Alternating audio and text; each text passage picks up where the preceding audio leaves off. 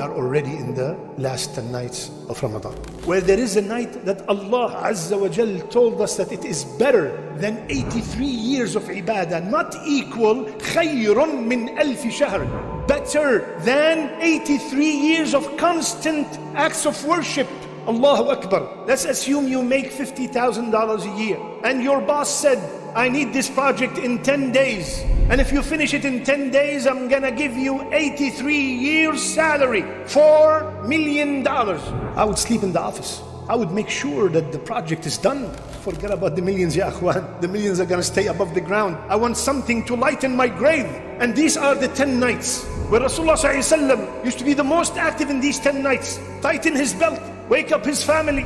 If you can do i'tikaf, Allahu Akbar, the whole 10 days. If you can do just a weekend, that's also i'tikaf. What's your plan for these 10 days? It could be very possible that it could be the last time we ever witness these 10 nights. What's the plan? Allah subhanahu wa ta'ala honored this night by sending the most honored angel with the most honored book to the most honored human being to the best and most honored land, Mecca. Everything is qadr, everything is honored on that night. The angels, there's no spot on earth except the angels are full. From now, these 10 nights, Ya Allah, I'm going to do this, this, this, and that. I'm going to perform every single night qiyam and tahajjud. I'm to maybe finish the whole Quran in reading. I'm to give this much. And if you want to give, let's say, a $1,000 in these 10 nights, make sure you divide it over the 10 nights. You want to give a thousand, make it a hundred a night. So you can be from the people who every single night they gave a sadaqah, they gave charity. In these nights, I want you to ask Allah Azza wa Jal the impossible. Tell yourself, the one who gave Zakaria alayhi salam a baby can solve my problems. The one who gave Yaqub his sight back can solve my problems. The one who turned the fire into coolness with Ibrahim alayhi salam can solve my issues. Ask Allah the impossible. Remember that He subhanahu wa ta'ala said, Huwa alayya hayyin. It is very easy for me. Have that in the back of your mind when you're raising your hands in these blessed nights. Do not worry about the how. Get busy by asking. How is from Allah, from the Qadir, from the Azim, from the Hakim, from the one who named himself Al Mujib, the one who answers the dua. This is the way you have to approach the dua these 10 nights with solid